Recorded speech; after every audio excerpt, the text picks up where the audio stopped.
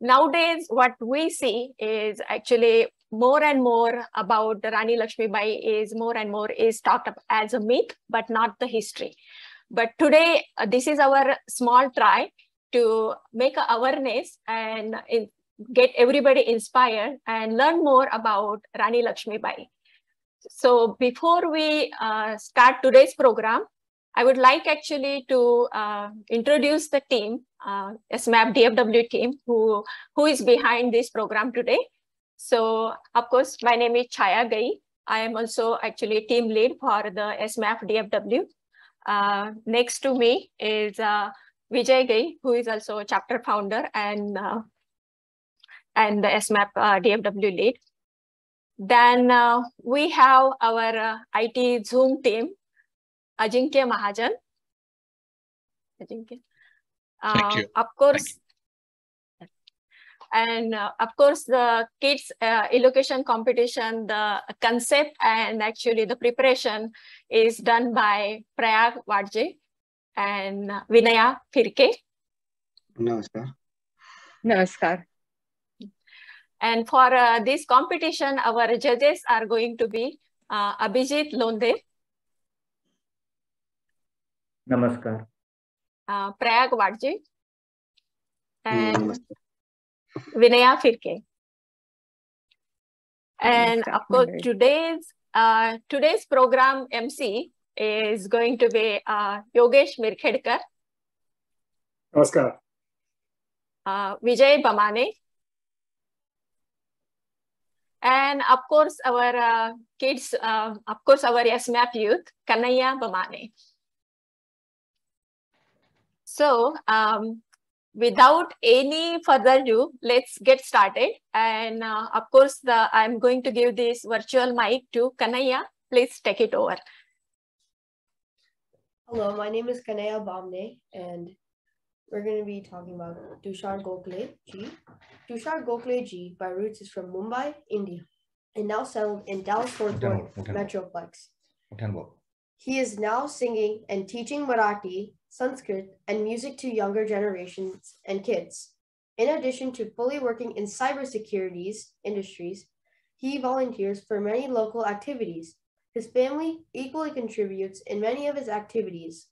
He is glad to be part of this community. And now please welcome Tushar Gokhaleji. Namaste all. Uh, thank you very much for quick introduction. Um, I'm very uh, obliged to be part of SMAP group here. And um, uh, I think I'm going to uh, start with, uh, as, as we always do for any event or any activity, with Lord Ganesh, Ganesh Vandana, followed by um, a few lines on Jhansi Ki Rani, which are very popular. Uh, but I'm just going to read those out uh, for all of you uh, for all of us here um, on the occasion of this Rani Lakshmi Bai Jayanti. Um, am I audible, audible good enough? Rest of the team? Yes. Uh, we'll do Ganesh Vandana. Um, I know uh, it's all virtual, but uh, uh, please sing along while you're on, on mute. Um, and uh, please enjoy. Hopefully it'll be um, a, a good experience for all of us here.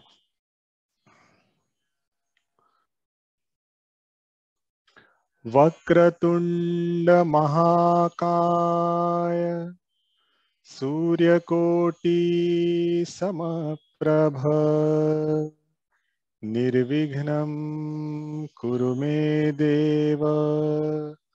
सर्वकार्येषु सर्वदा।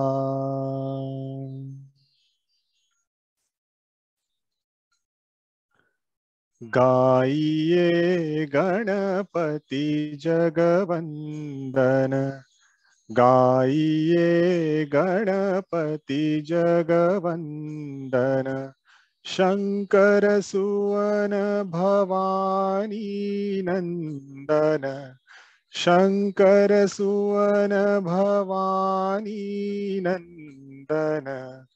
गाइए गणपति जगवंदन गाइए गणपति जगवंदन। सिद्धि सदन गजवदन विनायक।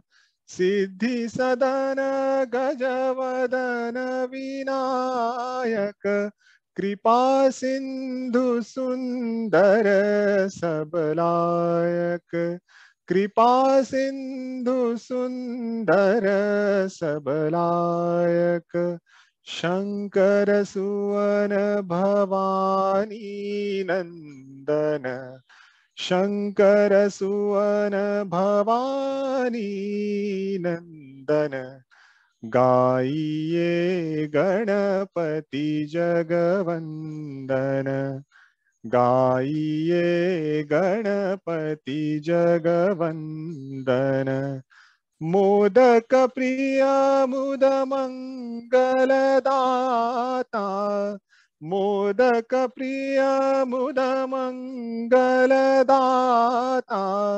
विद्या बारिधि बुद्धि विधाता विद्या बारिधि बुद्धि विधाता शंकर सुवन भवानी नंदन शंकर सुवन भवानी नंदन गाइए गणपति जगवंदन।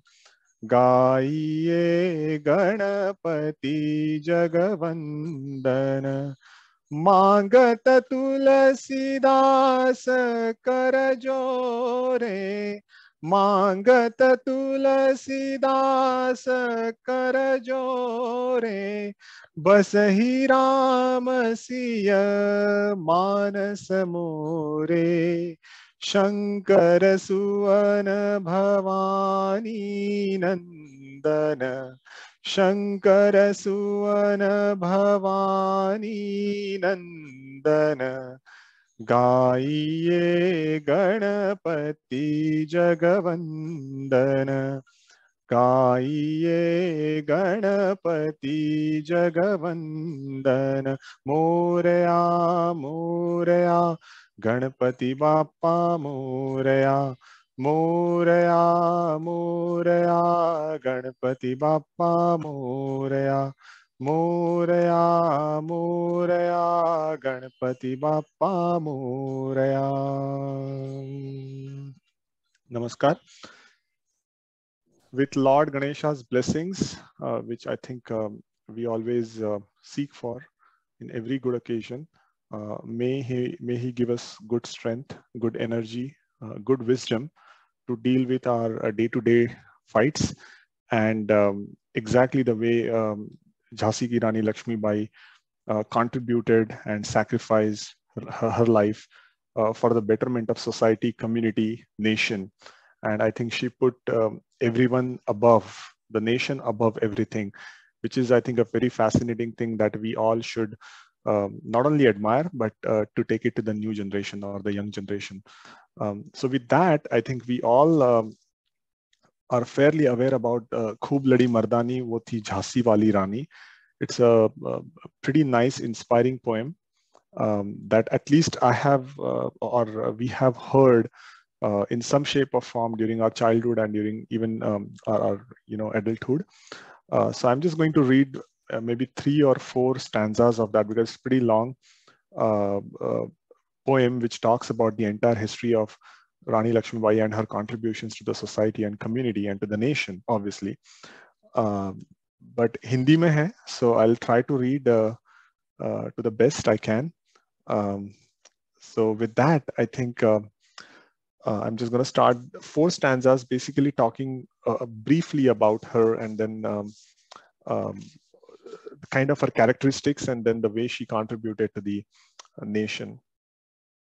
So, सिंहासन हिल उठे, राजवंशों ने भ्रुकुटी तानी थी।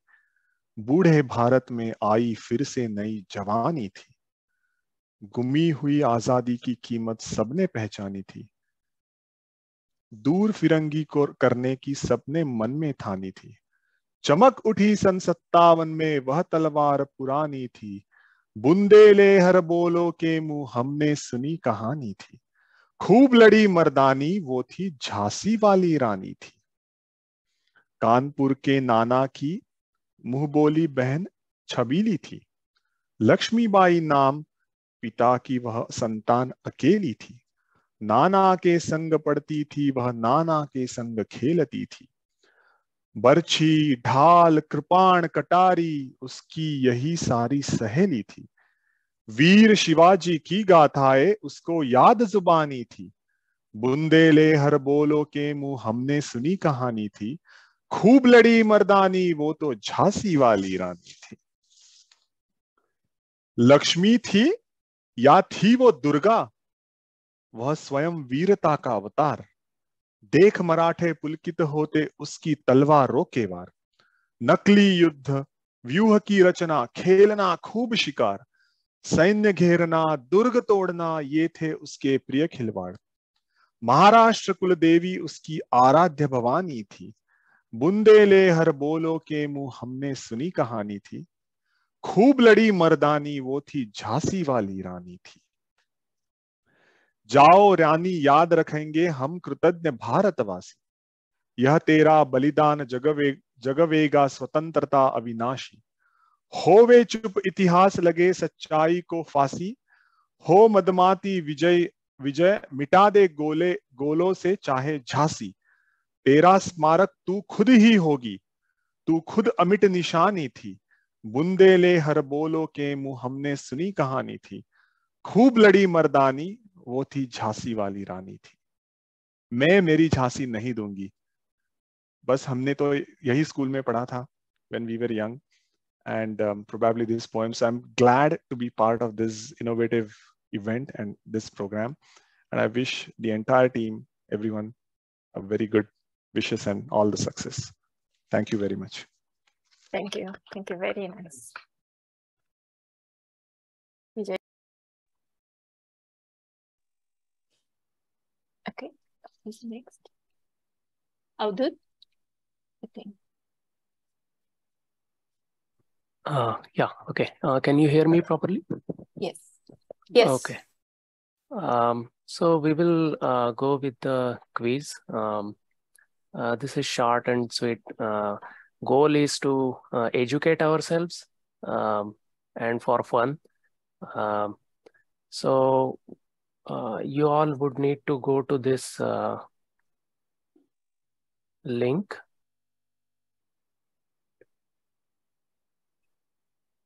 Um, I am going to post this let on me- the event page as well on the Facebook. Okay. yeah.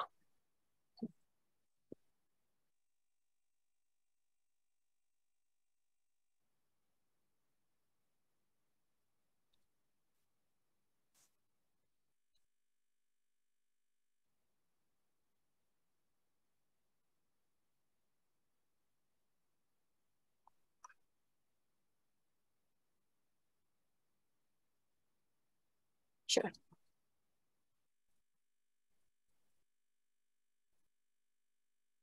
What is the code for that?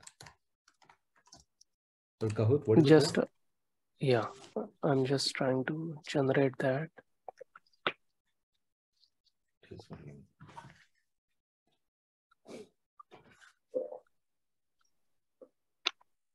Um, yeah, I need to share my screen for this and One second. uh, Yes. Can you can share? okay.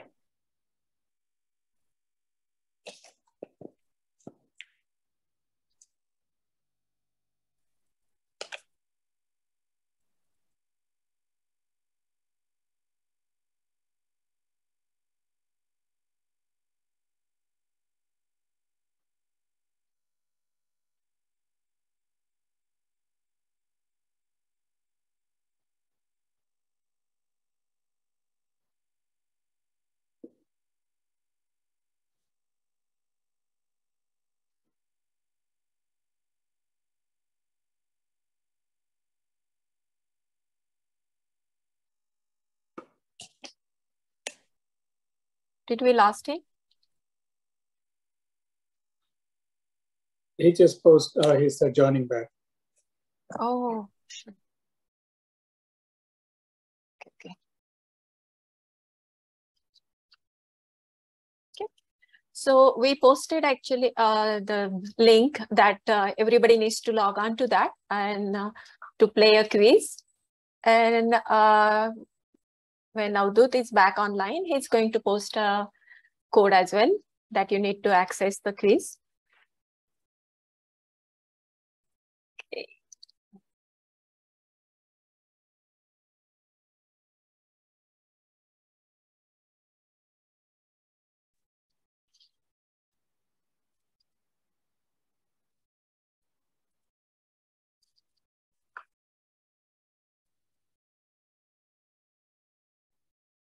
Uh, hi. Hi. Can you yes, hear go ahead. Okay. Yeah, Yes, Sorry yes. about that. Mhm, No worries. Uh, screen sharing is disabled. One second. Um,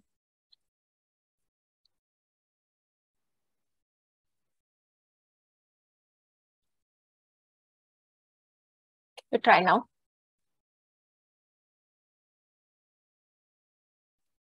Okay.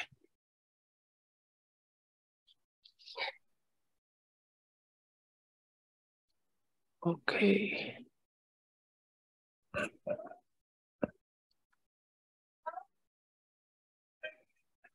Okay, so uh, you need to put this uh, pin number uh, 384 46 4 384 601 and then it would ask for um, some nickname. Uh, you can put your real name or some nickname if you want to be anonymous.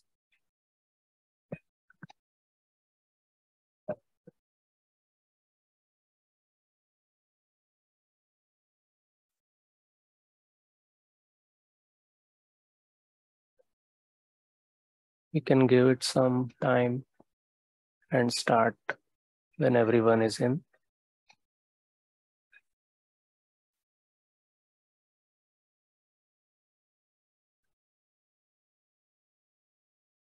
So we have six participants so far. Uh, Chayajin, let me know uh, when we can start. Yes, go ahead and start. That's okay. Okay. Okay. Or We maybe, yeah, wait one minute. Yes, Yeah. maybe wait one more minute.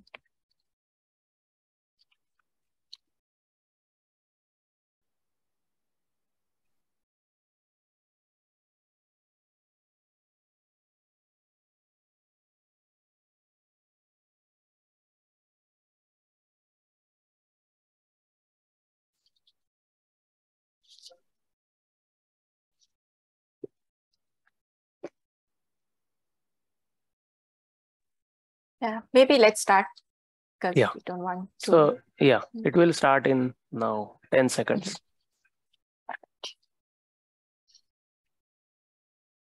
Okay, all the best, everyone.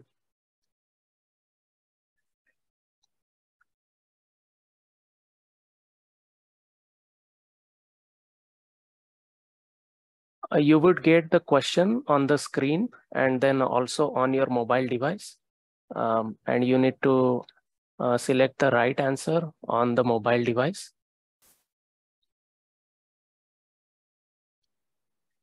Uh, there will be 20 seconds for each question.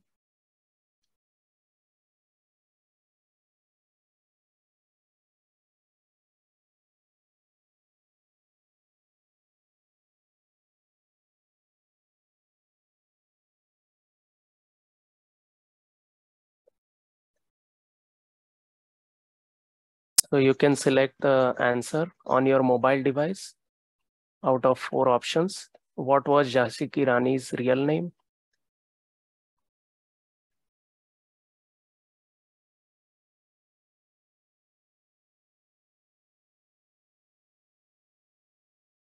So we got three correct answers here. Real name was Manikarnika. And Vijay is leading.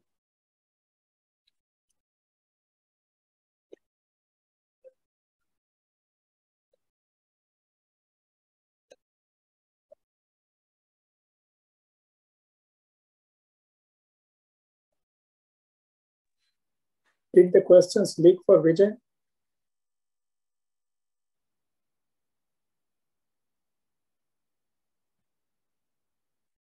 O only first one.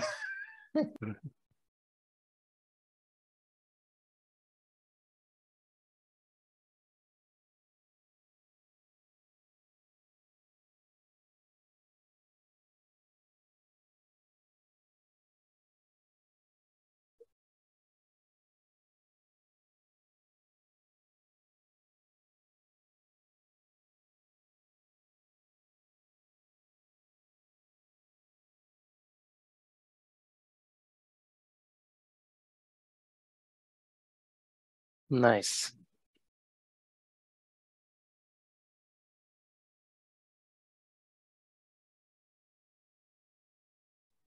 Uh, would you like to uh, read the question and answer as well? Okay, sure. Um, At what age was Maharani Lakshmi Bai got married? 14 years, 12 years, 16 years, or 18 years?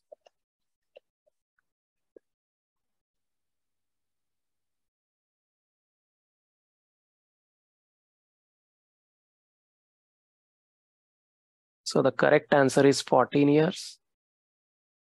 And we got two correct answers. Kana is leading now.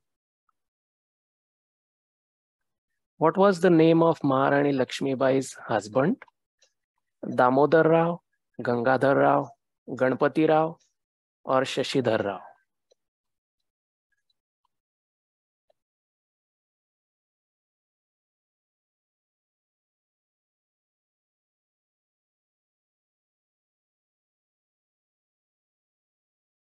So Gangadhar Rao is the correct answer. We got one person got correct answer. Kana is on fire. Name of Maharani Lakshmi Bai's son is Shivaji Rao, Narayan Rao, Damodar Rao, or Dattatreya.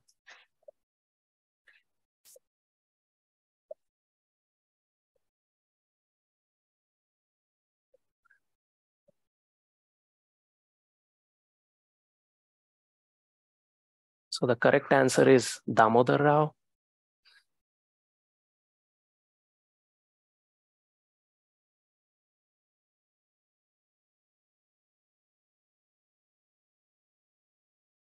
Who was a companion of Maharani Lakshmi Bai and became well known among historians?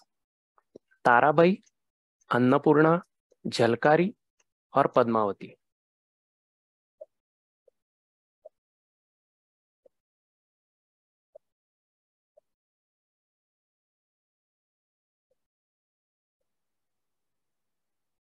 So the correct answer is Jhalkari.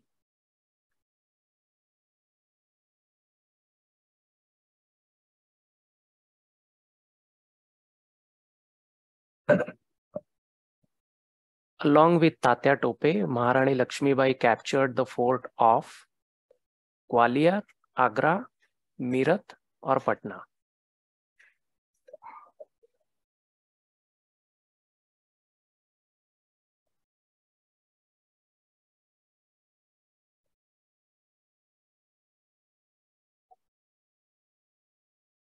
Was the fort of Gwalior.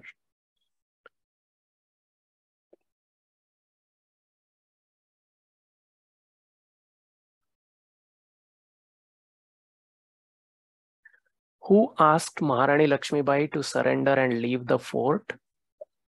Tatya Tope, Hugh Rose, Queen Victoria, or Lord Dalhousie?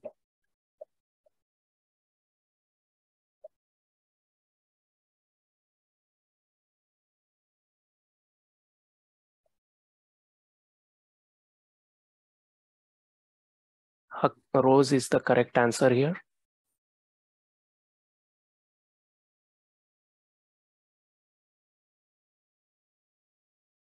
Name the horses of Jhansi Ki Rani.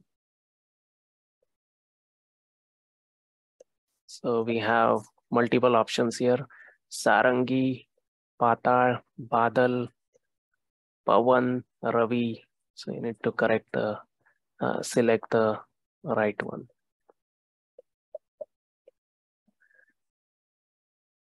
Sarangi, Pavan and Badal.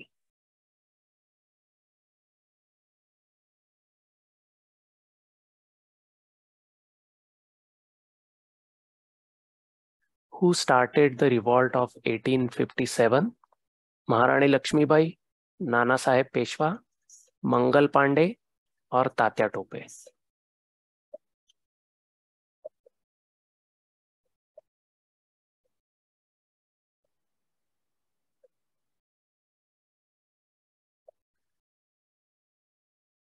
Mangal Pandey is the correct answer.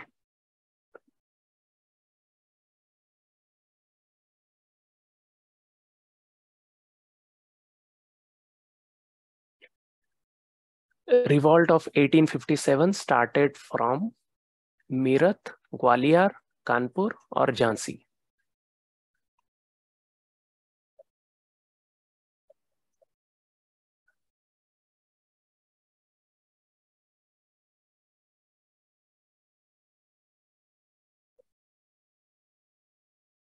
Meerut is the correct answer here.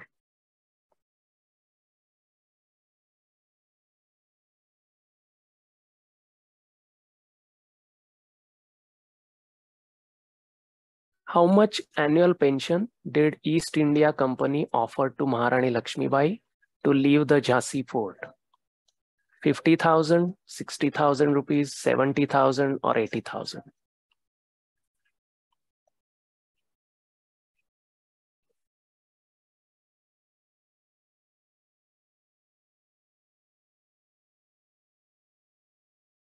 Sixty thousand rupees.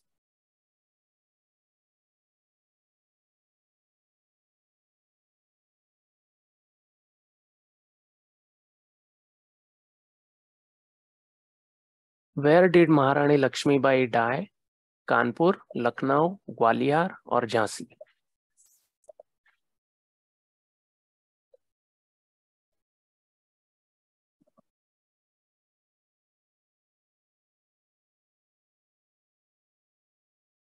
Gwalior is the correct answer.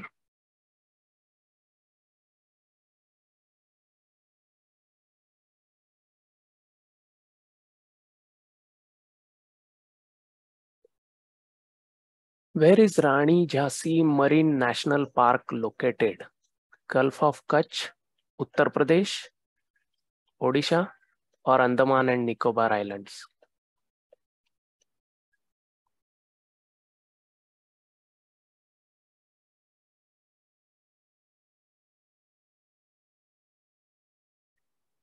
Andaman and Nicobar Islands is the correct answer. Okay, so we got the winner, Kanha. Big round of applause for Kanha. And then Tushar. Thank you. Okay. Thank you, everyone.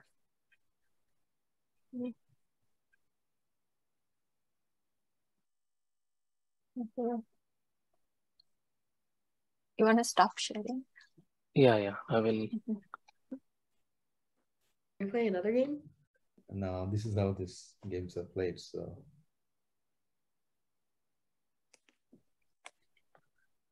Oh, it's done. it's done. Yeah. Not first. Great oh, I was job, edit- Kanu. On research. Thank, thank you. So, thank you. Oh, thank you.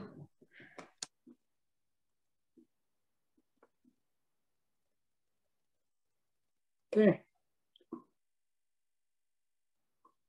मी योगेश लखेलकर आहे. आणि मी आता एक अशा सज्जनांचा परिचय देईन की तुम्हाला history इतिहास परत परत हे होईल. हे आपल्या झांसी झांसीच्या राणीच्या सोबत जे लढले तात्या तोपे त्यांच्या डिसेंडंट्स आहेत लिनियरचे आहेत.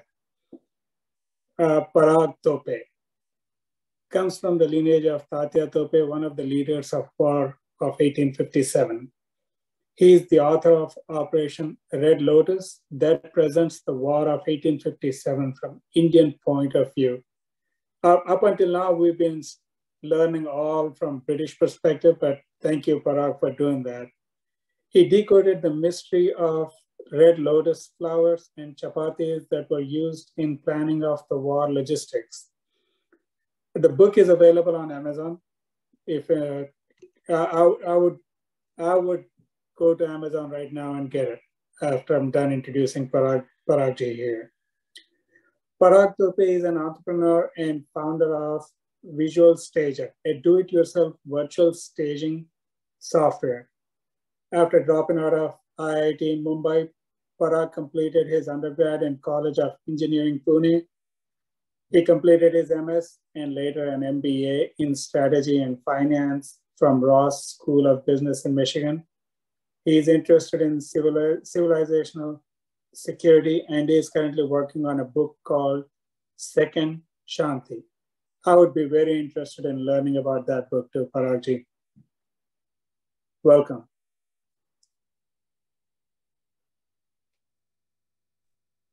Thank you very much. Thanks for the introduction. Uh, namaste, everyone. Uh, I hope you all had a good uh, uh Deepavali.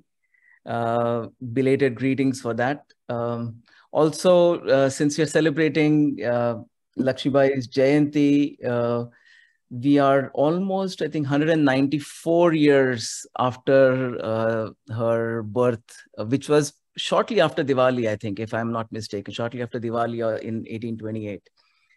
Uh, so let me just give, give you a quick background about what I'll be speaking today. I'll be speaking a little bit about 1857. That's not the main focus of my talk.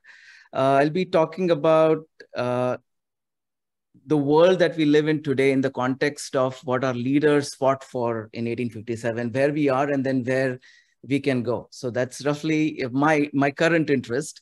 Uh, history is only uh, an aspect towards towards that interest.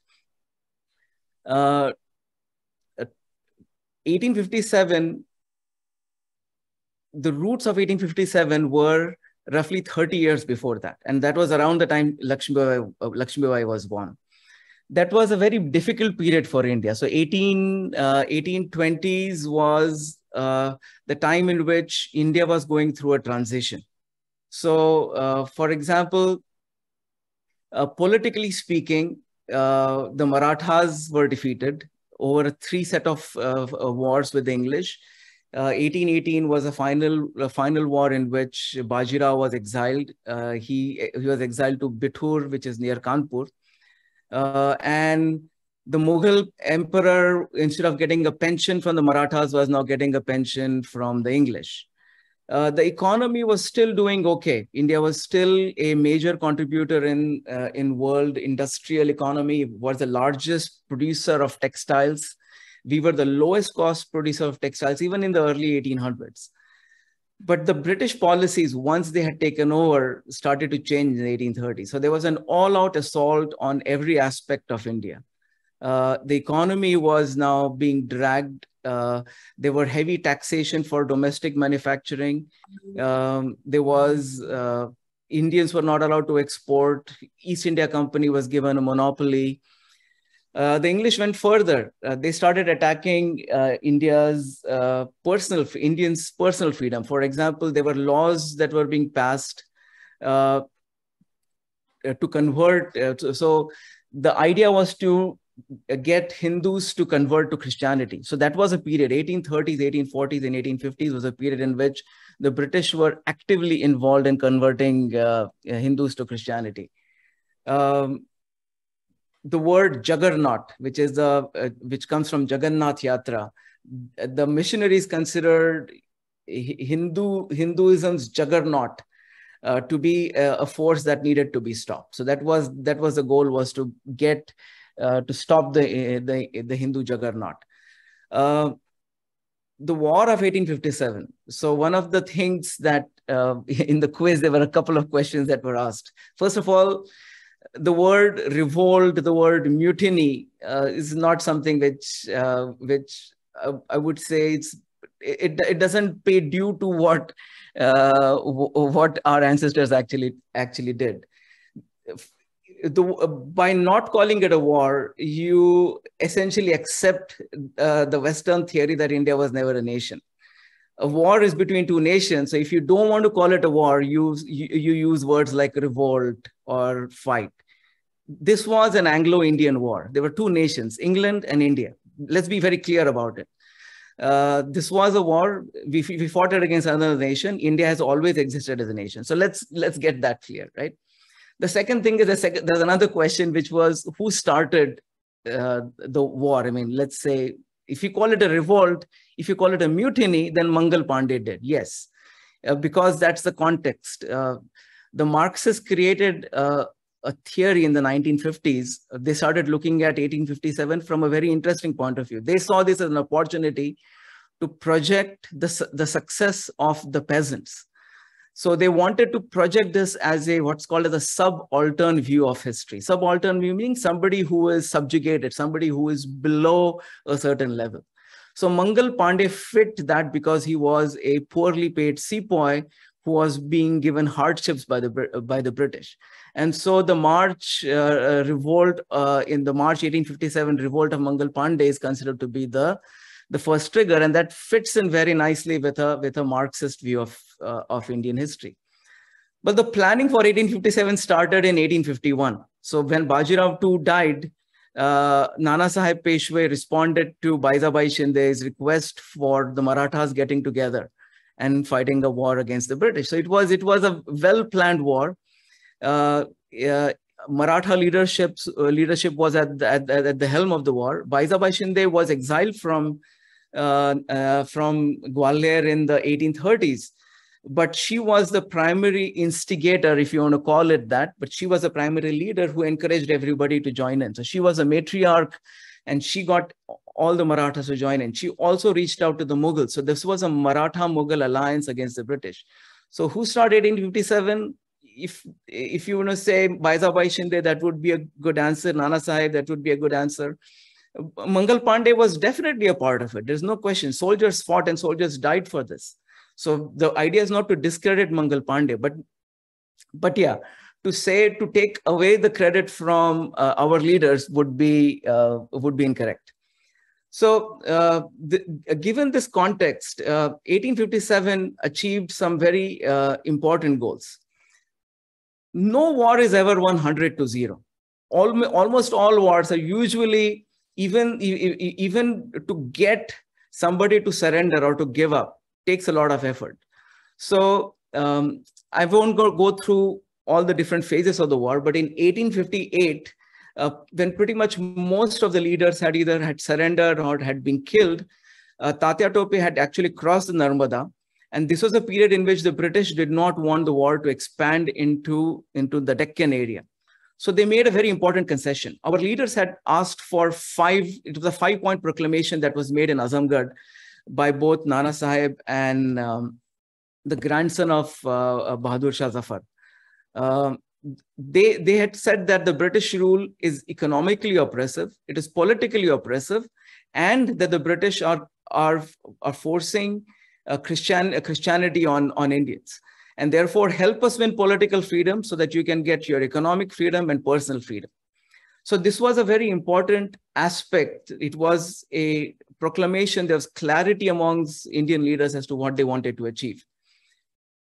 The British had to decide in 1858 that if they wanted to continue plundering India, they had to give up on something. And one of the things that they did was they blamed the missionary activity on the East India Company, shut the company down, and then promise that the state will not interfere directly into the matters of religion the missionary activity continued behind the scenes, but it was not as blatantly done as it was done from the 1830s, 1840s, and 1850s.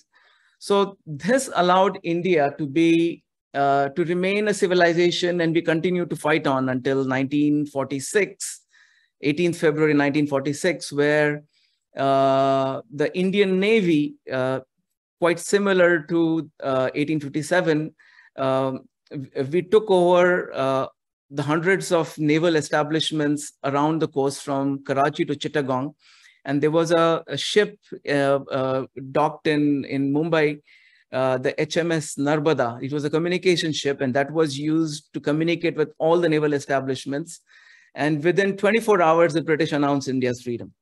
Uh, this was like a, a, fully synchronized uh, attack on, on the British. The British had had to decide whether they were going to send in the air force and weekend after world war ii they had no intention to fight. So they announced india's freedom within 24 hours. So 1857 we lost but 1946 we won. And it was it was pretty, pretty rapid. The credit for 18, 1946 never went. Most of you probably have not even heard of uh, uh, the, the, the war of 1946, but it was a one day war and, and that we won that. Uh, but we are here in 2022. A lot has changed in India. Uh, in, in the 1820s, when Lakshmi was born, India's past was relatively speaking good, but the future looked bleak. We are in 2022. The past was bleak, at least the last 150 years were very difficult, but the future looks bright. Uh, there are many things that, especially we are at, an, uh, at a point in history for a, I call it a forever nation, Sanatan, in terms of there is no, you know, as far as we know, it has always existed we are at a very important juncture. And there are certain things, especially for uh, us living abroad, the Antarashtriya Parivar for Shivaji Maharaj, is that there are certain things that we could do uh, to uh, to remember the sacrifices of people like Lakshmi Bai and uh, and and Tatya Tope. So, for example, 2022 uh, saw the death of a monarch, the Queen of England. Right? They call her a monarch. And there's a reason why uh, she's called as a monarch because the Abrahamic idea of uh, rule is there is a, sing, a singular titular head. Uh, and the idea of a monarch, means a single ruler, right? Now, in in English, we take the word Rani and we translate that into a queen, right? We, we take Raja and we translate that as a king. But there's a huge difference between kings, queens, and Rajas and Ranis. Uh, kings, by default in Abrahamic systems, are rulers. But by rulers, meaning they create the rules and society has to follow by those rules. In Christianity or Islam, the, the, the ruler has divine right over becoming the ruler therefore, there is a God-given right and to control the land to and to to tell people what is right and what is wrong. That was kind of the battle between the church and the king, but that is something which has always existed in Abrahamic systems. You look at a Rani or a responsibility for Rani or a Raja, the idea is they are the champions, they are the protectors. They don't create dharma, they don't create laws. The, the idea is that they are the uh, they are the champions of society. The society creates laws and society will implement the laws. The idea of the king is to protect whatever the society creates. So the king is subservient to society rather than the ruler of society. And this is something which if you look at um, in 1858 uh, there was a uh, uh, marathi priest called as vishnu bhat godse and he was a poor he was a poor brahmin and he was traveling in the north and hoping uh, hoping to make some money uh, as dakshina because like uh, uh, Shinde had arranged a large yajna in which he was going to give dakshina to anybody who was coming there but he got caught in this battle and at one point in, point in time he actually ended up meeting Lakshmi Bai uh, when she had this was before she was heading on to Gwalior and um, in that conversation and then he's written the book uh, he wrote he, he wrote his notes and eventually it became a book called as Maza Pravas in which is uh, in which she told him that uh, मला काही मजला काही एक गरज नव्हती परंतु सर्व हिंदू बदलचा धर्म संबंधी अभिमान धरून कर्मास प्रवृत्त झाले she said i didn't need anything but taking pride in in uh, hindu dharma uh, I was motivated to fight the British. So, so she, she saw this as a responsibility, she of something that she needed to do. So she was, she was doing her job as a Rani, not as a queen who was entitled to lord over her subjects. So she was doing her job defending uh, people's values and she died, she died doing that, right? So uh, conceptually, if you look at the people that we have put on a pedestal in the past, the, uh, the the difference between again if you look at for example the the english uh, the parliament english parliament has the house of commons and the house of lords the word lord for example if you were to translate that into india will say dev right now think about how we look at dev versus somebody looks at lord right a lord is somebody who is quote noble by noble meaning they own the land and they dictate to people what they ought to do. They collect rent from the people. Farmers are not free. Farmers are their serfs. And they are the people who are lording over people. The word lording over comes from that idea. It's a divine right that they have to lord over people. Now, for example, if you look at the word Dev, I mean, in Marathi, for example, if you say Dev Manus so you're not going to think somebody who's all powerful and almighty and owns a lot of land and tells you what to do. You will say that person has qualities that you think are worthy of respect. Somebody oftentimes will be simple. Somebody oftentimes who is more, more uh, prone to giving rather than taking you have the two exact words. You can translate them from one to the other language but the context completely changes right? So we we are in a very unique situation because as people who come from a background which is uh, uh, which is hindu but we live in a society that is fundamentally uh, abrahamic. So obviously we don't want to be disrespecting the society but at the same time that doesn't mean that we have to be pushovers in our idea of political philosophy right? So that's something which is important that we ought to do. There are many concepts uh, that uh, uh, that are different. I'll focus on one concept that uh, uh, that makes us fundamentally different than uh, than anybody else, right? Especially, it's important for people living in the U.S. for example, you must have heard dharma gives dharma protects artha, kama, and moksha, right? So artha can be roughly translated as the purpose or money. Kama is pleasure and moksha is uh, freedom or liberty. Uh, I call that a small triangle. This is something which by small triangle I means every human being on this planet or every being on this planet, not just human being, every being on this planet can have purpose, can have money, can have, can get pleasure and can be free this this is a scalable and a sustainable triangle. Everyone can have it right? We don't define how much money. We, we don't define who who gets it and how it's got. But whatever you think you work hard you'll get. There's a larger triangle. Pursuit of that triangle is basically unsustainable. So these are complementary terms. The larger triangle is kanchan kamini and kirti. Kanchan means wealth. Kamini means a life of hedonism and kirti is fame by definition, everybody can't be famous. The whole idea of fame is that there are 100 people, five people can be famous. 95 people are not famous. That, that's definition, that's kirti, right? Same thing with Kanchan. Not everybody can be wealthy. By definition, you won't call somebody wealthy if they had what you had. You would consider somebody wealthy because they have something more than what you have, right? So that is Kanchan. And same thing with Kamini. Not everybody can be living a life of luxury and not doing any work. That is simply not sustainable, right? But yet, we live in a society which puts the pursuit of happiness, the pursuit of wealth, the pursuit of fame on a pedestal, right? Again, the idea is not to critique the society, but to understand that there is a different culture that we come from and there's certain different pedestals that, that we have.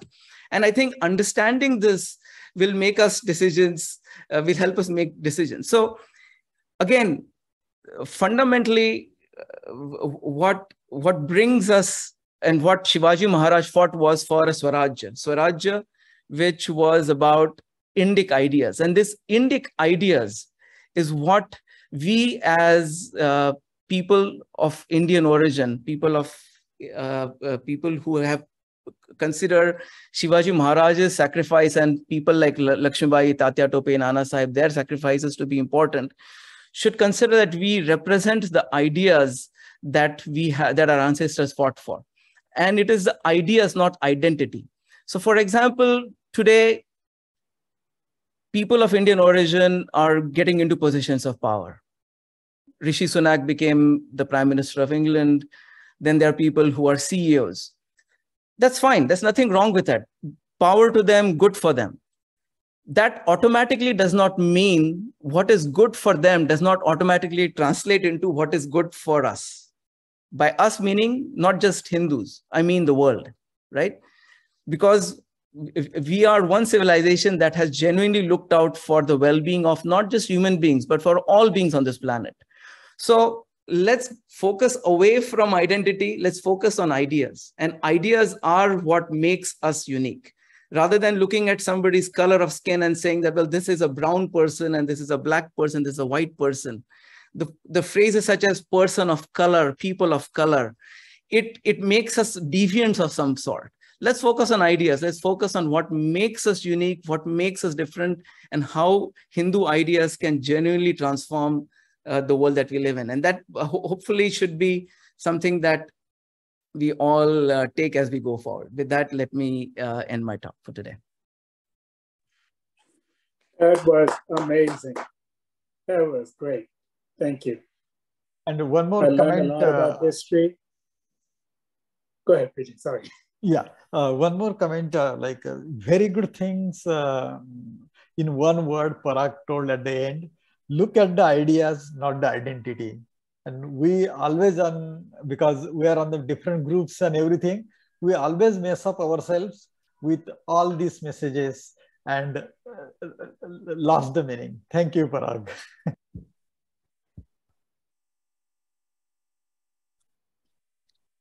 Anyone has any questions? Uh, I know we have an exciting speaker coming up next. So I think it will take some time for the people to digest that, uh, you know, the, the thought you last last sentence you made. But that's a very, you know, very important uh, for the progress of humanity, because today the humanity is divided based on stuff. Um, so I think one thing I, I, I feel that the people should, as, as the social platform we're using now, uh, to communicate this, I think more and more uh, the ideas around like, you know, how to promote the ideas rather than the different uh, color or race or, you know, uh, because today, as you said, Rishi Sunak become, become a prime minister and I think the social network was basically completely flooded with, okay, different meanings of being, you know, like Britishers ruled India, now we'll rule, you know, the, so that's like, a, that's not a, that's not the right way to say it, but, but, you know, people still don't, uh, are, are not leaving that history, what we have been learned, I think, you know, in the history, the people are still attaching to themselves rather than attaching to ideas. That's something which is, I think, very powerful statement you made that. Uh, and I think everybody should, but should basically take it uh, that way, that ideas always becomes, you know, more uh, important than anything else. Yeah. Thank you so much, Dr. Thank you. Thank you. Thank you, Parag. Thank you. Uh, next one, Vijay. All right. So now we have a next uh, speaker. Um, I think uh, Anima Ji on this call, and I think I'm so much excited to introduce uh, introduce Anima Ji. Um, and uh, one other thing when I was reading about her was uh, so much, uh, you know, gave me, you know, the pleasure to know that she has uh, had always a dream of becoming, you know, aerospace, uh, you know, engineering, or, or, you know, she wants to look, she used to look at all of the, you know, stars and she, she's aiming for the stars. And she comes from, uh, you know, uh, Jalgaon, which is, I think, near Dhule, in, in the Dhule district. Um, and as uh, as I read about it's, her, it's Jal Dhure is in Jalgaon district. it's the opposite actually. yeah, Dhure is in Jalgaon district. I saw Jalgaon. Jalgaon is the place. I think my friends are there from the Jalgaon. So okay. okay. So yeah, got it. So Dhure district, right? Got it. So thank you so much for correcting that. So no. yeah, I think. Uh, go ahead. Okay, now I think uh, one other thing which I think I, I uh, want to tell you about Animaj is that she is very ambitious. Uh, she has, uh, you know, been like, you know, into the software industry. I think she, she made, um, you know, into the NASA now, I think as far as I, as far as I read about, you know, and I think I understood about uh, Animaji is that she is, uh, you know, basically um, uh, into the NASA for last uh, few years, and she lives in Houston.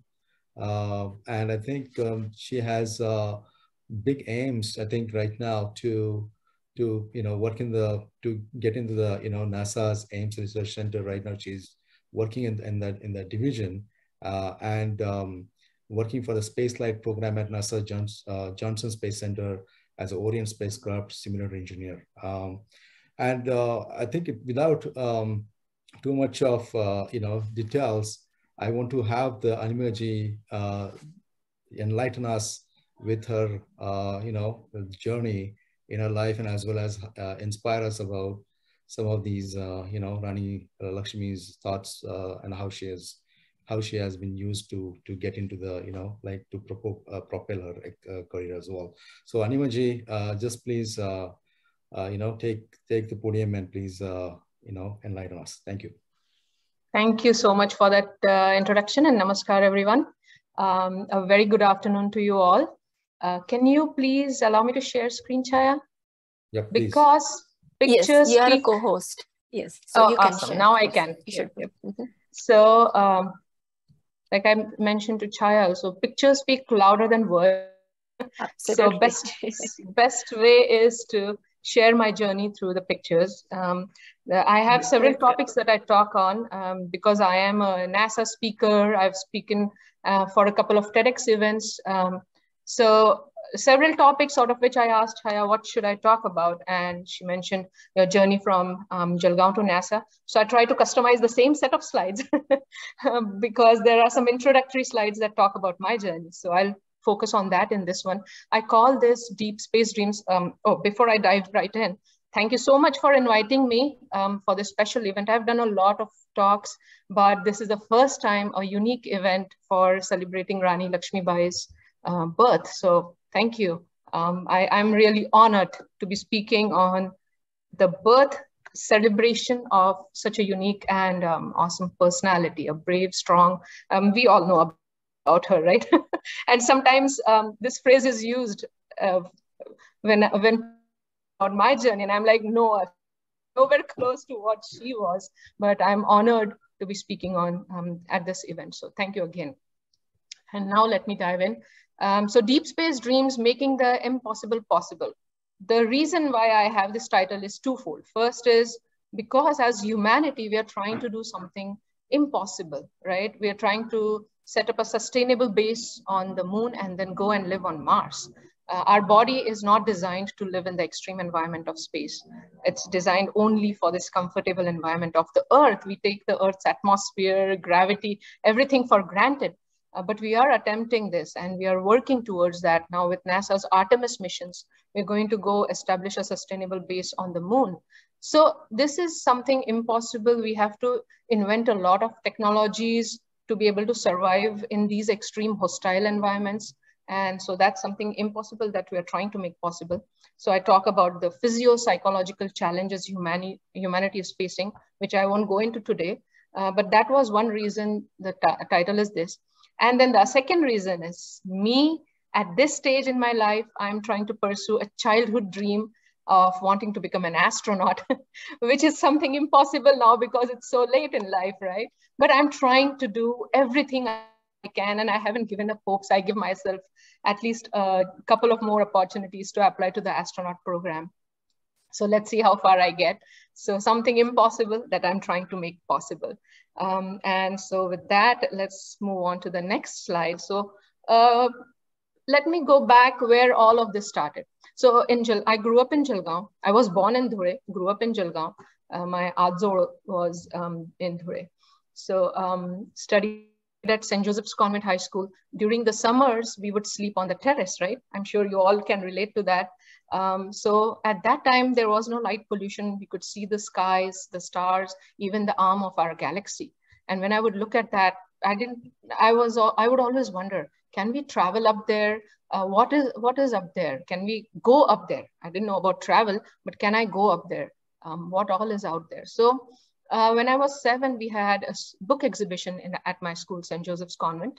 And in the book exhibition, I saw picture books with pictures of astronauts laying on their back and launching into space. At that time, the US and the Russian space programs were at their peak, right?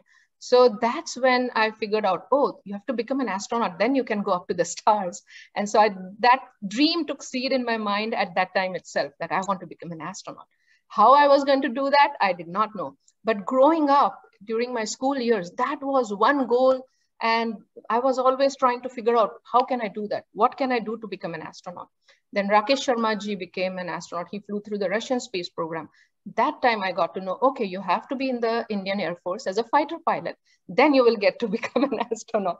And although the Indian Air Force was not accepting women as fighter pilots at that time, I decided to myself that I am going to try and become a fighter pilot in the Indian Air Force. By the time I graduate from college, maybe they will start hiring women, right?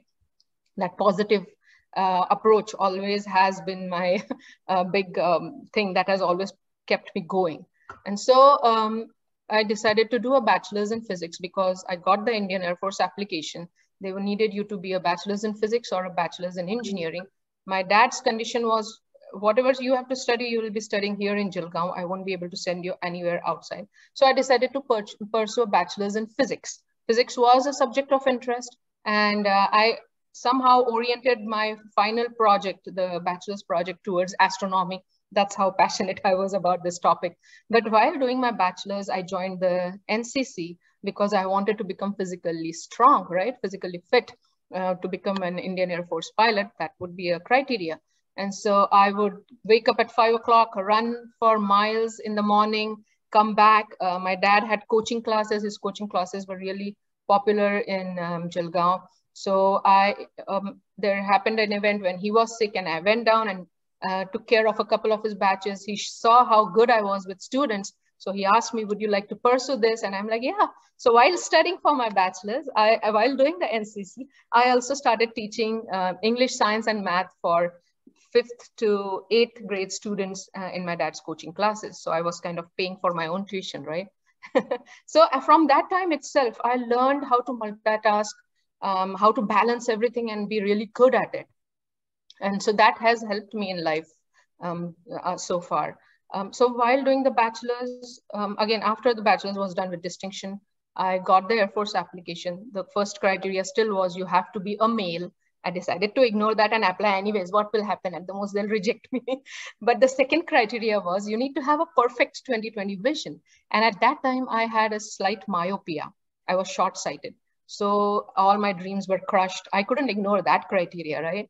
So I couldn't apply. And that summer went really uh, kind of in uh, depression and crying. what am I going to do? How all my life I've been planning towards this. What will I do next? But then my dad suggested there was a master's in computer applications course that had started two years um, since two years at North Maharashtra University, our university in Jalgaon. So I applied to the course, had to give an entrance exam. At that time, it was a very special course. You had only 30 seats. Um, so I got accepted and I did my master's in computer applications, got married while I was doing that, uh, worked in Mumbai for years, um, got this op awesome opportunity to come to the US as a software consultant uh, in California, San Jose. So while I was working, um, I had a son, my older one, and uh, he was three years and I was watching the space shuttles launch because we were building the International Space Station up there, right? So the space shuttles were launching regularly.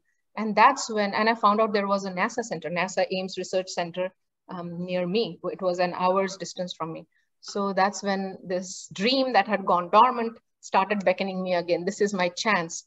Even though I'm 30 and I have a full-time job and a three-year-old, I'm going to do something about this rather than keep thinking all my life, what if I had, right? So that's when I decided I want to do a master's in aerospace engineering because how else would I get to work for NASA? And plus, it, it, even when I was in India, I did want to learn some, um, do, I mean, study towards a degree that would give me some expertise and or knowledge on how are rockets built, how do they work, airplanes, rockets. Uh, so this was the opportunity now that I was getting. And so I applied to San Jose State University, got accepted. Um, my parents, my husband couldn't understand why I wanted to do this. You have uh, a young child, you have a, full-time job, you will not be able to do justice to your family. So they were totally against it basically. and they gave me a hard time, but I decided to uh, prove to them through my actions that you guys will always be my priority. I will, this will be the last um, lowest in priority. I'll do my duties for you and then uh, work on my dreams. And through actions, I showed that. And eventually they came to support me, which was a really big relief because when you have the family support, um, you get more energy um, to pursue your dreams, right? You get that um, positivity. Um, otherwise, it's really difficult when you're struggling. It, it, you can't fight the battle alone. Uh, there were instances when I had to take my three-year-old with me to the college, and all my friends from that time remember how young he was, and today he's all grown up. He's in college, so uh, what a journey it has been since then. But yes, um, after that, I had to wait for a few years to become a U.S. citizen because at NASA you need to be a U.S. citizen um, to work on any NASA projects. It's it's it's aerospace, right? Aerospace and defense of any country needs you to be a citizen of their um, country, it's sensitive stuff. So yeah, I had to wait for four to five years after that master's in aerospace engineering, kept applying, did not give up. It was frustrating at times. I was at Oracle at that time and the job was really great. I was doing really great, but my passion, my heart was here, right? So it was a struggle. Um, but eventually, I, 2012, I got a call from the hiring manager for the Kepler mission. And the first question he asked was, are you a US citizen?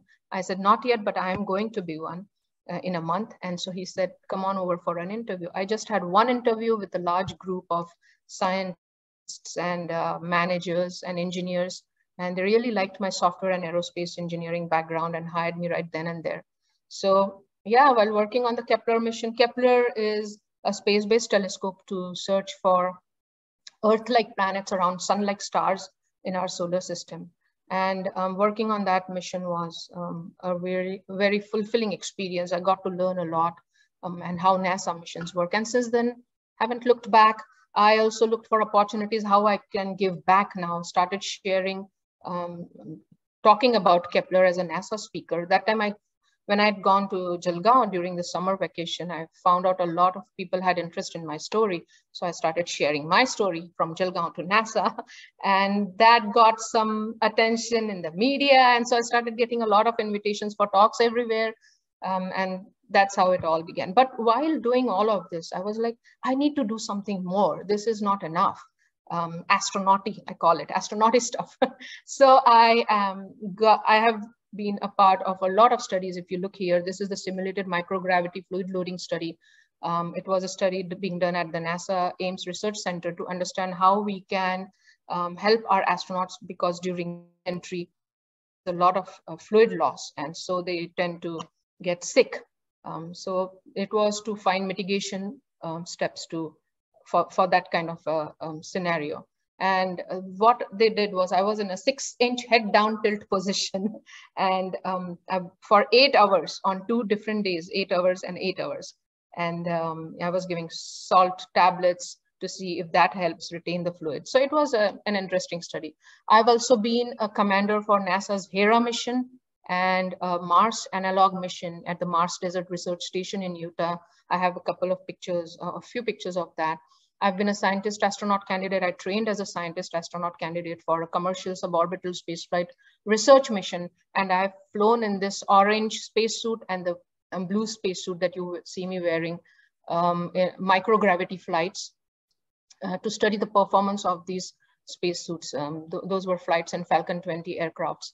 I've also done a master's uh, in space studies, which I completed in 2019, human factors, because I had this engineering I wanted to understand how human factors, um, how do we need to design our systems to, with humans in mind, right?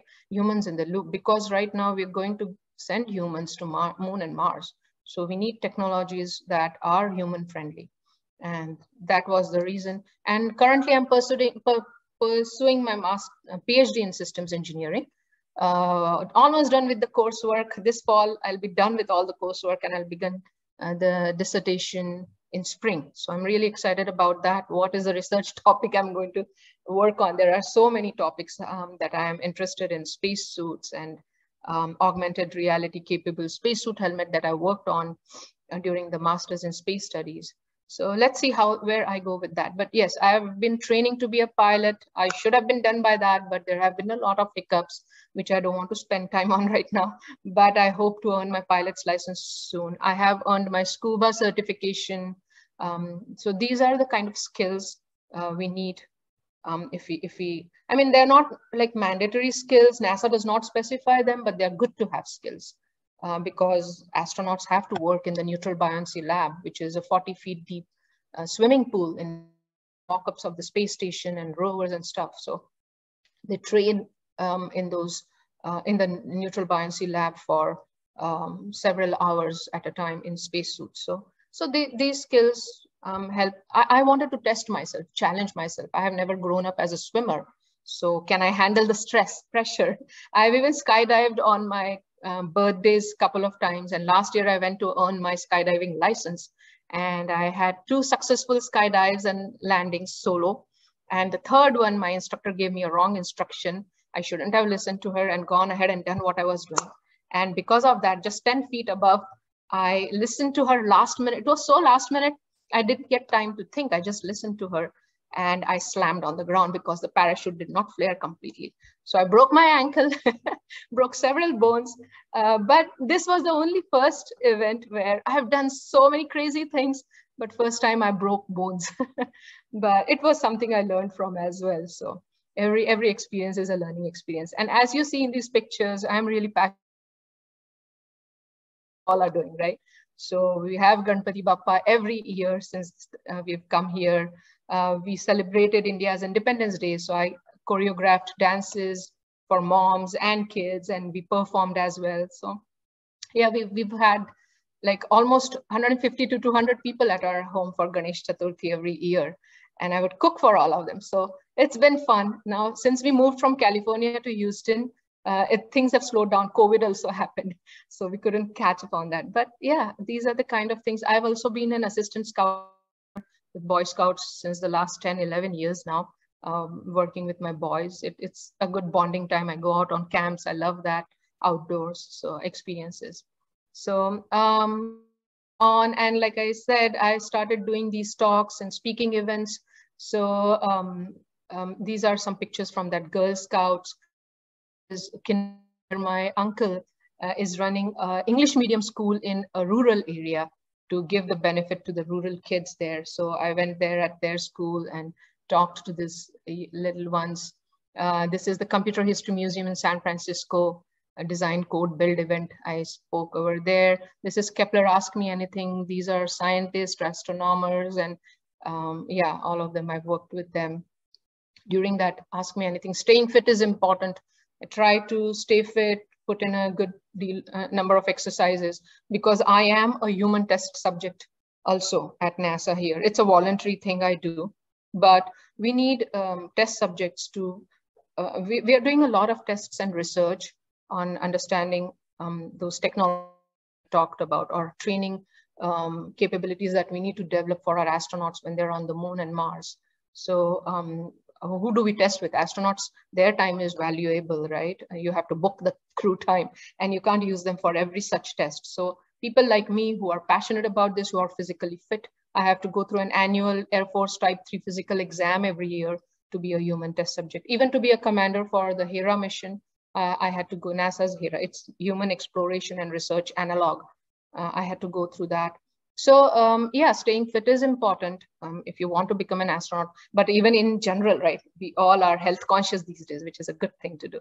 And this is me in the spacesuit at uh, the University of North Dakota. They have a spacesuit lab there. Uh, I'm wearing the HoloLens. I had developed uh, an uh, AR app for the HoloLens for astronauts to use.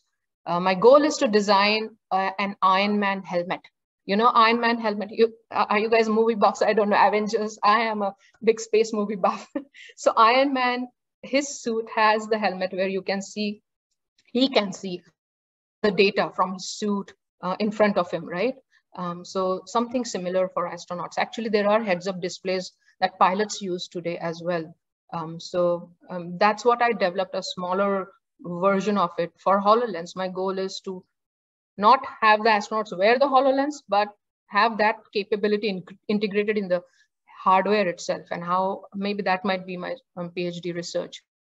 Uh, but I am testing this AR application on the HoloLens inside the spacesuit. It's a pressurized spacesuit. When the spacesuit is pressurized, you balloon up. And so it's difficult to perform the tasks. This is why NASA astronauts spend hours in the NBL, like I mentioned sometime some time ago, neutral buoyancy lab um, to test, uh, I mean, to practice for their EVAs or extravehicular activities they have to do up on the International Space Station. So some fun pictures. And like I mentioned, I've been a commander for analog missions. This is the NASA's Hera mission. It was in 2015. Uh, it's a habitat, um, two, two level habitat. So I'm, this ladder was our only way to get to the upper level. It's like a spacecraft basically and uh, yeah so was a commander for that. There is a lot i have a separate deck of slides to talk about that lots of pictures but we have we are limited on time so i'm just uh, covering in brief. And this is me at the mars desert research station in utah mars analog. It is a very mars like environment. Um, this was not run by nasa but it was a run a run by a different group. Uh, so we performed research on how astronauts would live and work on mars. Uh, I'm a bioastronautics researcher scientist astronaut candidate for a commercial suborbital space research project called Project PoSSUM.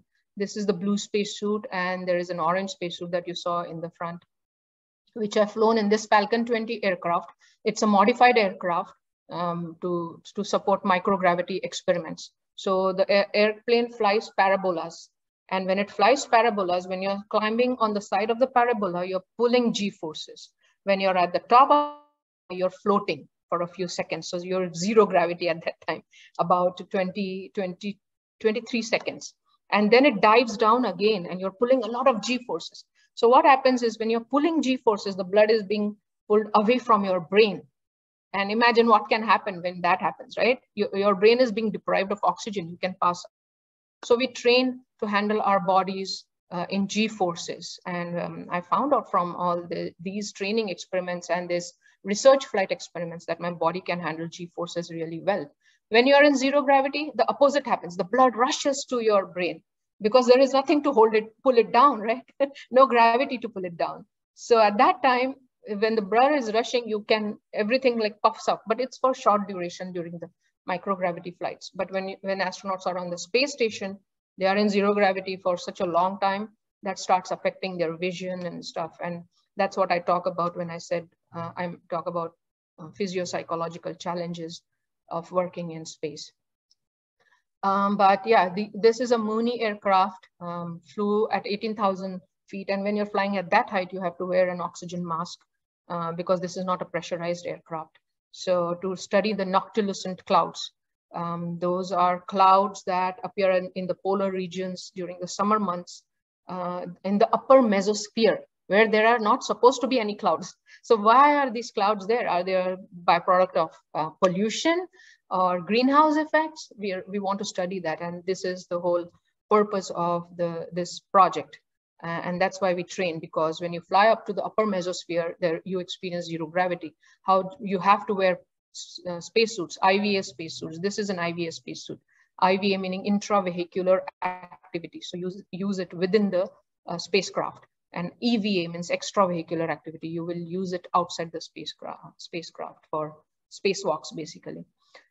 So that's about it. Again, a lot to talk. I'm trying to restrain myself.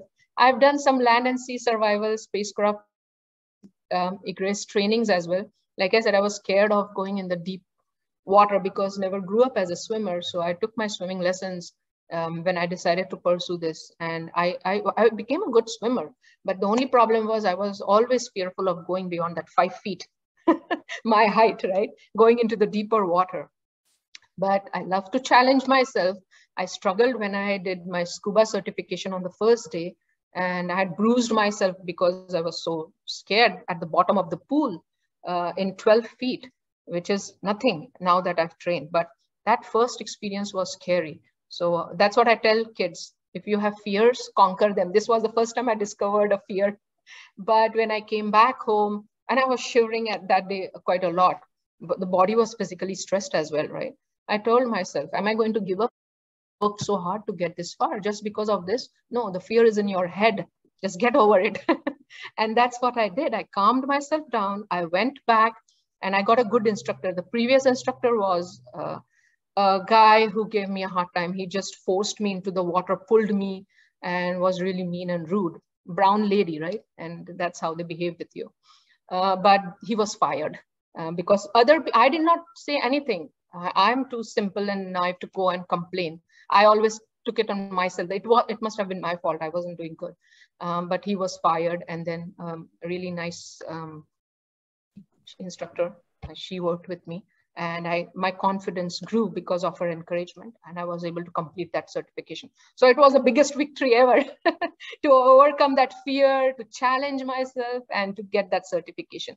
And that helped me get into the ocean. This is like 40 feet deep ocean. There are jellyfish swing, swimming under us. so we were told to be aware of those. So here you see I'm in here, I'm trying to make to the lifeboat and here we're trying to inflate our life vests and uh, save ourselves. And this is after uh, after all that training we got on board. And then we built tents from parachutes from our spacecraft. I'm upside down here because my eyes are fully covered. We are simulating that I am in a spacecraft that has dived into the ocean, crashed into the ocean. I have to get out and save my save myself. There is a video about that. I don't think I have it in this one, but it's on my YouTube channel. Uh, so it's dark, supposed to be dark. So I am wearing glasses that are completely blocked. I can't see anything. I'm blind. And I'm in buckled in my seat in the spacecraft. I'm upside down. And then I'm breathing from a bottle of air. And then I'm finding the exit and coming out in the dark. Uh, so that was the training. Uh, this is just a summary of uh, the things that I talked about. How much time do we have or are we out of time? No, I think uh, this is really great, actually, Animaji. Uh, Maybe five minutes. Yeah. Okay. Are, yeah, yeah sure. Yeah. Okay. So I'll wrap up. I don't think I will not talk about Kepler. What do I have? And then these slides I will not talk about. So I'll just okay. finish here. Today I'm at the Johnson Space Center. I made this move. I um, after my master's in aerospace engineering itself, I wanted to come here in Houston because JSC is where all the astronauts live and work and all the human spaceflight stuff happens, right? At NASA Ames in California, it's a research center, no human spaceflight stuff. And my um, passion has always been to be close to where the astronauts are um, because I want to become an astronaut. so uh, finally, the boys were younger. We were in San Ramon in California, which was a very beautiful place to raise kids. Um, so I decided I want to give them the priority. So I kept putting it off. And finally, now that they were older, my work on Kepler mission was over. I convinced them, let's move to Houston, please guys. This is now or never for me. And thank uh, uh, agreed. I have two boys. One is doing in second year in um, um uh, at UT Arlington, sophomore year, and the old younger one is a sophomore in high school here. So finally, they they're here, and we are all settled now. And I'm working here. I get to meet astronauts, astronaut Sunita Williams. Everyone knows her. Josh Cassada. They were training um, for their mission on Boeing Starliner uh, and I got to meet them, watch them train, which was really exciting for me. I was the Orion spacecraft simulations um, lab manager till last November. This is a mock-up of the Orion spacecraft uh, where I would host all the flight software that we're going to um, have, that is going to fly uh, Orion basically. It's a fully automated spacecraft. And I provided the NASA user community with whatever tools they need along with the flight software um, to perform their tests. Here I am a human test subject wearing the virtual reality goggles, I see the surface of Mars in front of me.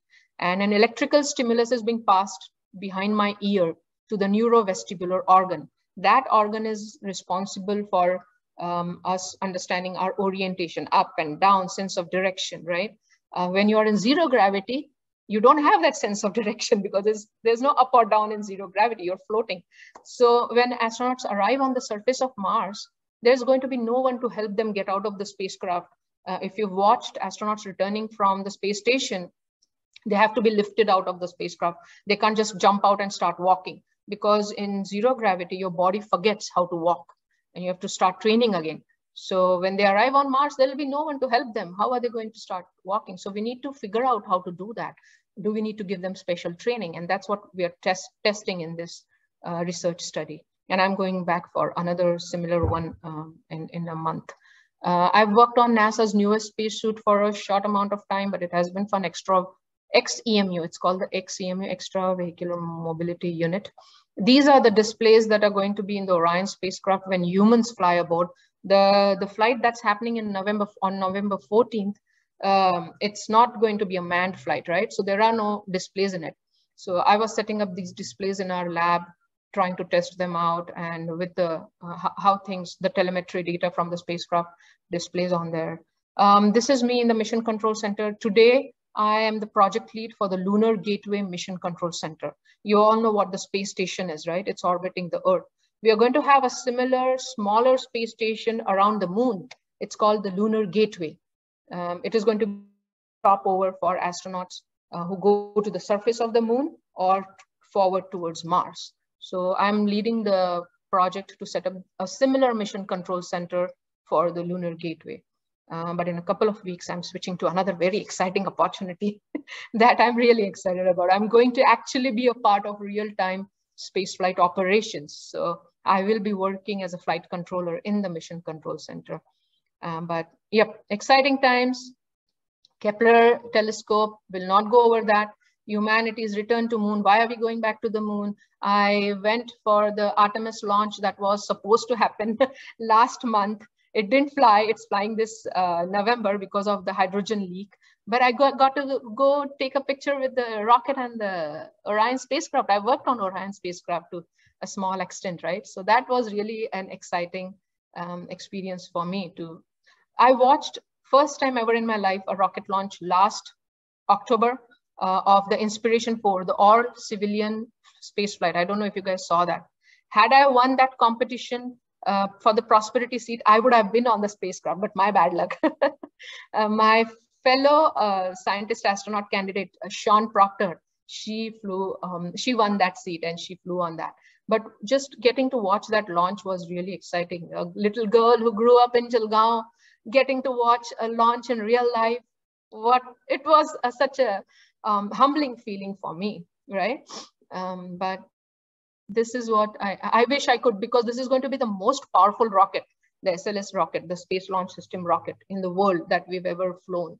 And so the sounds, the, the smell of the rocket fuel, the visuals, it's going to be so amazing. And so I took the time off and went, but we didn't launch. Uh, don't know if I can go for the November 14th. But yes, this is all I talk about the, um, the Artemis missions. And we can do that at some later point. I don't want to take up a lot of time. Thank you. I hope that was something uh, worthwhile. Um, and this is me on social media. Um, yeah, students, kids, you can connect with me. I will, and ask me questions. I'll try to reply to them uh, as and when possible. I even started a YouTube channel just recently, Space Frontier with Anima. I'm going to do small snippets, talks uh, about Kepler and about what we do at NASA, Artemis missions, and a lot of different topics. So hope you all can um, follow and connect and subscribe and share. So thank you for that. Appreciate your time. Thank you. Thank you, Anima. What an incredible journey. What a dedication. Oh my God. Thank you. you. Uh, Anima, one thing I will uh, ask actually, if, uh, if you would have to tell our uh, young audience actually some advice, what you will be, what will that be? So I, I would say, yes, have dreams. Don't fear to dream big because I, uh, when I started talking as a little kid, I want to become a pilot. I want to become an astronaut. I was shot down yeah right you're going to become so if that i grew up in that kind of an even my master's in computer applications i i was my parents were questioned she has to get married and stay at home and raise kids why let her study for a master's even convent why educate your girls in a convent but the parents saw that and they wanted to give us equal opportunities so what i'm saying is basically don't fear i stopped talking about what i wanted to do as a kid when i was when i faced that um, but mm-hmm. i still kept it in my mind and kept working towards it. And then everyone, I silenced everyone today, right? So dream big. Today, your parents are supportive. Everyone around you is supportive. But you cannot be lazy and you cannot expect your dreams come true. You have to work hard. Look at me. There will be obstacles. There will be failures. Um, and it, you cannot give up when you have failures. Think of that as a stepping stone. Learn from that failure uh, learn from that experience and see how you can use it positively and keep going. So you have to be persistent, you have to be patient, you have to work hard. Look at me, how patient I've been throughout my journey. There's no guarantee I will become an astronaut, but I'm still doing it, right? So also exactly. have a backup plan, have a backup plan. Today, uh, I, I don't know if I will become an astronaut, but I'm working in the space flight field, right? I'm working at NASA which itself is fulfilling and satisfying satisfying to me every day i go to work i'm excited so choose hmm. a career choose education that will that you're really passionate about it doesn't have to be if it is engineering um, or science um, work on that, get a master's, get a uh, get the highest degree you can because the more education you have, the better you will do. Even if it's arts or even if it's finances or mm-hmm. business, yes, pick, pick that field, but do your best in everything you do. So aim for the best and have a very positive attitude. My positive attitude, being optimistic in at every stage has helped me. Um, especially we like um, um, uh, Tope sir was mentioning that we do feel a lot of uh, experience some sort of discrimination. And I've experienced that. Being a brown woman, I was chosen as a commander. Of course, I was highly qualified that any, than anyone else, right? But does that matter? No, the crew was not really very happy about it. So I've been through experiences all along, mm -hmm. but don't let anything pull you down. Okay. Be persistent. Good.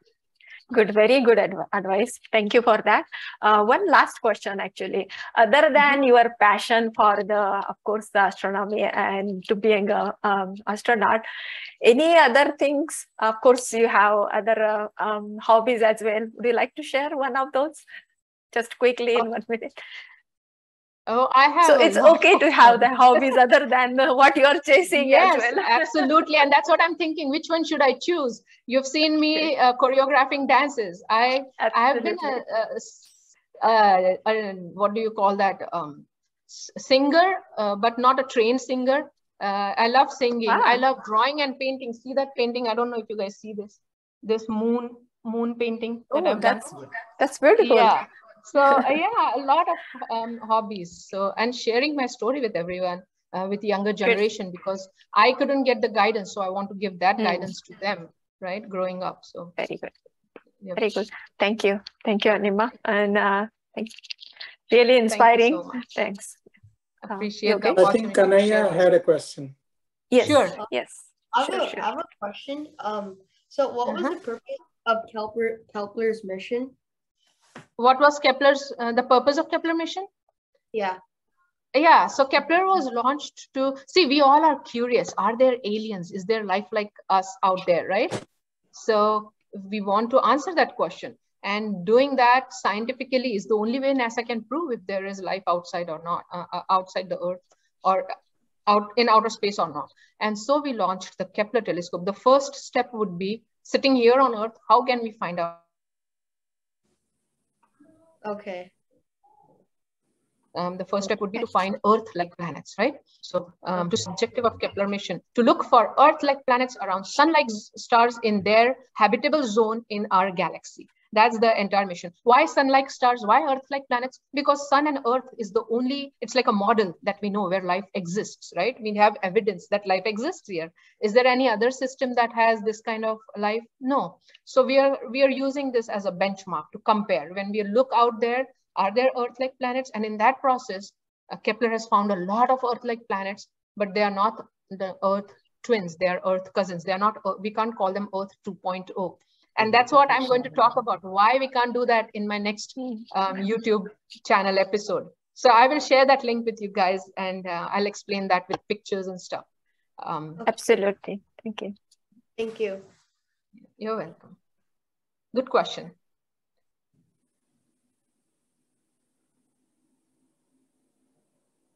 Any other questions? I know Kanaya has, must have a lot of questions. you can reach out to me, um, but uh, if, is there any other question I can answer? No, as of okay. right now. Good. Okay, cool. Thank you for sharing Thank your you. time, Rima. Absolutely. Thank you. Thank you for having me. Thank you so much, Animaji. Thank you. It was a pleasure. Next, what next uh, is, uh, I think, uh, uh, Chaji, the uh, speeches, is it? Is it the women's contribution to Yes, and Yogesh is going to make an Yes. So this is the elocution competition for age group 7 to 16. Uh, timeline is uh, four, four to five minutes. I'll read through the rules real quickly the goal of the elocution competition is to encourage the skills and talents related to the art of speaking in public. Other, uh, uh, unlike me reading it, you have to learn how to speak in public without reading. Just kidding. You'll get there. The speech may not exceed minutes in duration as per competition group. The time limit will be strictly enforced. A 60 second warning will be given to both the groups Language of the speech will be strictly English. मराठीमध्ये बोलायचं नाहीये ह्याच्यात फक्त इंग्लिशमध्ये Points will be awarded based on the following criteria. Content, speaking presentation, and the decision of the judges will be final. There will be no recount. Today's speech is no, about... No, oh, okay. Oh, okay. So you're going to tell, uh, that's fine, go ahead. Okay, so do I... Go ahead, Kanaya. Okay. Today's speech is about a female warrior. Her name is... We lost you there. No, no, no, start from the okay. day, so it's muted, okay. Uh, We lost the sound. Okay. And awaz mutha.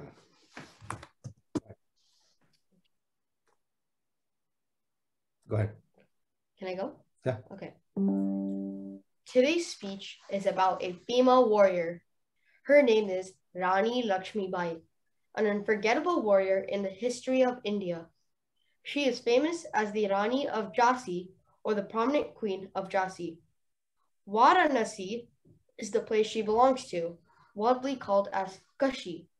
It was 1857 when the queen showed her heroism and courage, rising with a rebellion against the Britishers. Rani Lakshmi Bai was born on November 19, 1828, in Varanasi. She died on June 17, 1858, at the age of 30 in Gwalior, India. In her childhood, Manikarnika got all the schooling in martial arts, fencing, horse riding, and shooting. Rao Sahib, Nana Sahib, and Tatya Tope, Tope taught her martial arts. Rani Lakshmi Bai had a couple of Maris as was good as horse riding. The two Maris was named Sarangi and Bhavan. At the age of 14, Manikarnika married Maharaja Gangadhar Rao Newalkar in 1842, who was the king of Jhansi. After marriage, she was named Lakshmi Bai. The queen of Jhansi fought with impeccable bravery and courage. She single-handedly fought it with the British army till one of the English horsemen struck her on the rear head. Despite being heavily wounded, she continued the fight bravely and killed the horseman. She fell on the horse and tumbled to the ground. Rani Lakshmi Bai will always be remembered among us, the bravest fighters in Indian history. Rani Lakshmi Bai, the Rani of Jhansi, was the first female warrior in the Indian history to be this heroic and powerful. She offered her life in the struggle of Swaraj and the independence of India from British sovereignty. Rani Lakshmi Bai is shining example of patriotism and pride in one's country. For many people, she is a motivation and a source of admiration. Her name will forever be imprinted in the gold letters in Indian history and the hearts of all Indians. Thank you. That was great. Good job. Great job. Thank you. Thank you.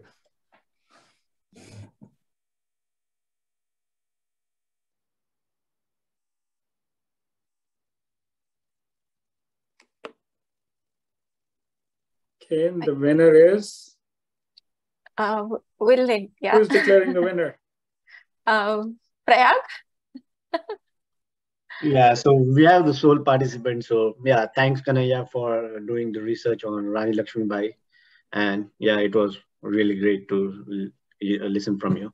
So yeah, you are the winner of this competition. Thank you. Great job, buddy. Great, Great job, job. Kanaya.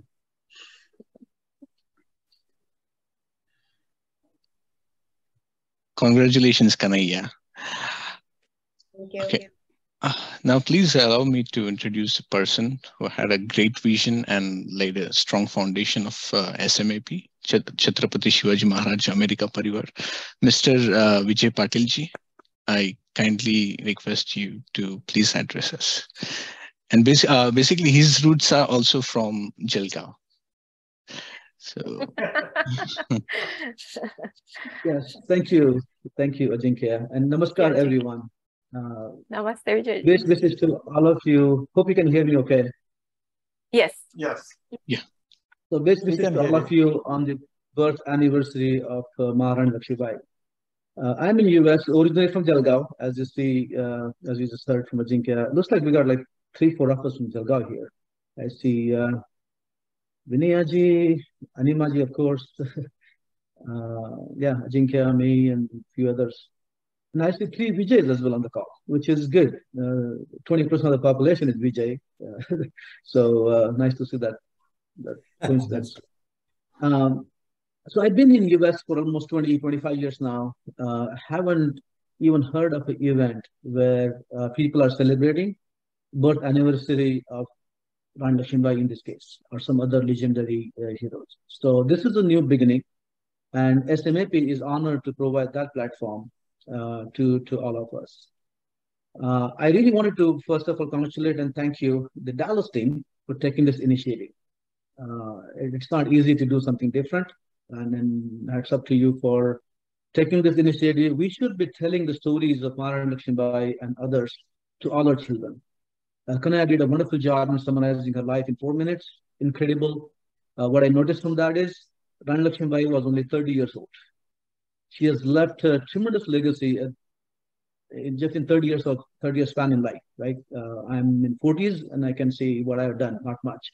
So it's incredible. Ch- Chhatrapati Shivaji Maharaj, uh, he was around only for 49, 50 years. And see what, what, we has, what he has done, inspired millions of people around the world, right? Uh, so we need to have those more role models, leaders in the community so that we all get inspiration. We all do a lot more uh, than we can. Uh, Paragji, Animaji, uh, thank you for supporting the events. You have been with us from day one and uh, really appreciate uh, your two things, your ability to pursue your dreams, at the same time, your vision and your strong roots that you're showing off wherever you go. That's incredible.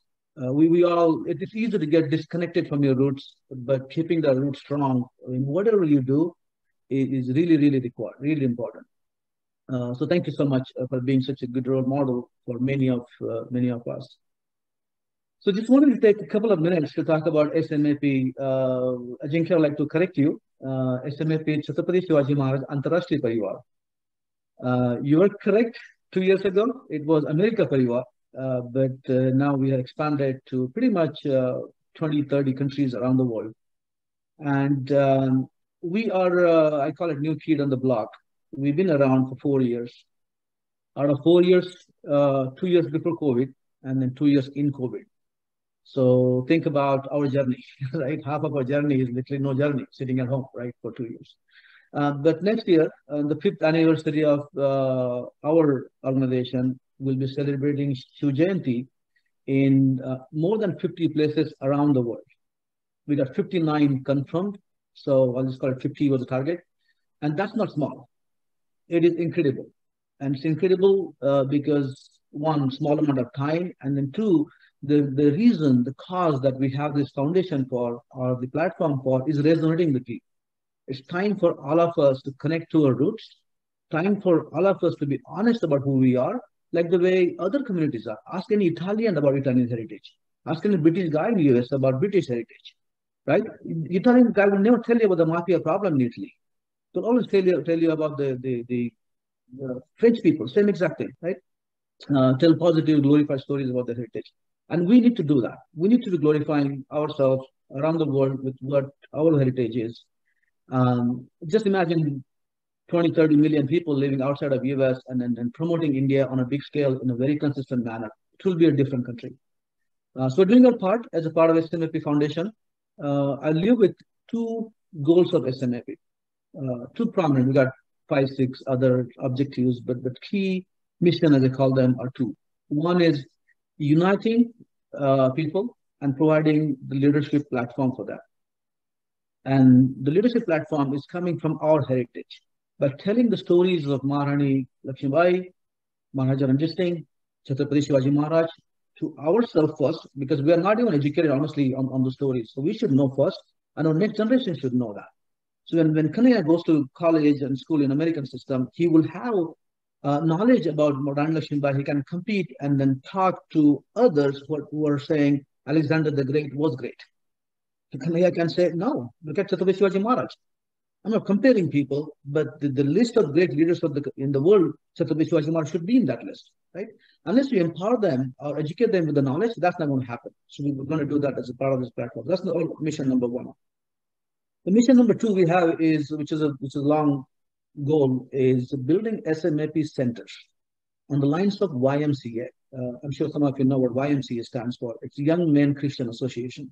Started probably about 80, 90 years ago they are in almost 100 plus countries, 60 million members or something, doing an incredible job in providing the opportunities to youth so that they can mentally strong, physically strong, and do good things for the society. We need to do the same thing under SMAP with our heritage. We have a lot to offer, 10,000 years of history, a lot to offer, and uh, we will do that through SMAP Foundation uh, leadership centers. So those are the two things I wanted to take you with you. And, and uh, as I said, um, I really thank and congratulate you for your leadership.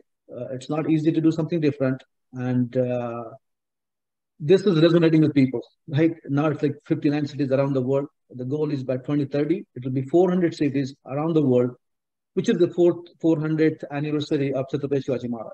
Uh, so we'll be doing that around the world. I'm pretty confident uh, we will get there with the response we got in first five years. So thank you again for your leadership. You all, you all are role models, and let's continue uh, with that so that we can empower, inspire others. That's it from my side. Thank you, Ajinkya. Back to you. Thank you. Thank you, Vijayji. Thank you. Chaj, you want to take over? Uh, yes, Vijay is going to. Exactly.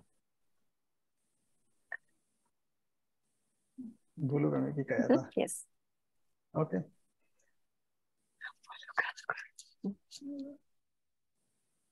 Yeah, thanks, uh, guys. Uh, thank you, everyone, uh, for joining us uh, today's event. Uh, because, uh, can you hear me? Yes. Okay. Yeah. Um, today, we wanted to see that one, that our women warriors, like everybody's mother and sisters, and how they can guide us and how they have guided us. So we uh, tried to say the people, yeah, no, uh, our uh, Ranis, queens are different totally and we can get inspired, lot of inspiration for them. That was a goal today. But I thanks uh, to our team, DFW team for making it happen and uh, doing it, uh, everything uh, you did it for um, make it successful and bring to the people. And uh, our two speakers, uh, especially Parag and Animaji, they took us into different extremes. uh, the intriguing questions, Mark, and uh, the thoughts Parag has given to us uh, makes us to think a lot uh, what we are, where we are going, and what is our responsibility. Uh, Animaji took us to the differently total uh, different planet. And uh, being in the space science, uh, myself was, uh, I started up in engineering uh, in the Department of Space in Bangalore. so it was pretty interesting to connect back to those things. So thanks everyone and absolutely Vijayji um, thank you for joining and uh, yeah, telling us about uh, more our plans and 50 cities and more than uh, 15 countries. Uh, that is an amazing thing. That's why we are Antarashtriya. And thanks everyone. Yep. Thank you. Yeah, back to you. Thank you. Thank you all. And I think that will conclude today's program. Big applaud to everyone. Thank you, Vijayji, for joining. And Thanks yes, thank you.